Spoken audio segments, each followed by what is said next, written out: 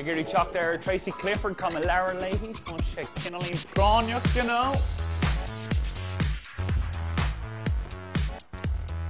Hi Tracey Clifford. Hello, Mr. McDermott. How are you? I'm about to come off. Come here out. What's on the show today? Loads of prizes, loads of music, and I've got a big secret musical guest which you're going to absolutely love. But come here, while I have you, as you know, uh, I have been learning Irish this year. Yes. You might have heard my show uh, during the year as well. And I just kind of feel like, obviously, like you're the only presenter that I know that works in 2FM that speaks fluent Irish all the time.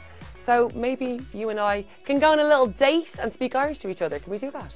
Are you asking me on a date? I am. Osquelga date. Osquelga? Yeah. I accept. Cobble to gull. Um, I don't know. Well, Tussie Canuck, who's buying?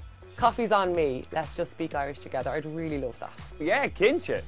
Cíntaach ar fád. Gur míle má go Eoghan. Woohoo! Slán! Slán.